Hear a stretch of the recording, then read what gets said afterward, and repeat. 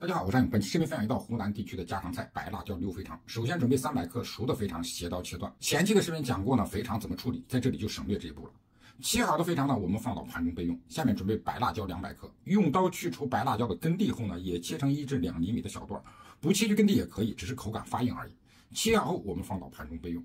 准备一个尖椒，一破两半，去掉这个辣椒籽儿，斜刀切成菱形片。红萝卜一节，切片，搭配一个颜色。大蒜少许切片。生姜一小块也改刀切片，下面呢就开始具体操作。起锅放油，油多倒一些，油温在七八成热的时候呢，把这个肥肠过一个油，让肥肠的表面变得焦脆，这样炒出来的肥肠呢才会外焦里嫩。肥肠表面起泡变色后呢，控油捞出，这个时间大概在二十秒左右。锅底留入少许底油，油温五成热的时候，我们放入蒜片和姜片进行炒香。炒香后，我们倒入白辣椒和辅料，大火翻炒上六七八九下后，倒入炸好的肥肠，再次翻炒四五六七下后呢，我们沿着锅边倒入黄酒。翻炒过后，加入蚝油少许，白糖一克，食盐一克，鸡精一克，点入少许的清水，大火翻炒均匀。记住，全程一定要大火。翻炒过后呢，我们沿着锅边加入陈醋两克，陈醋有去腻提香的效果。翻炒过后即可出锅装盘。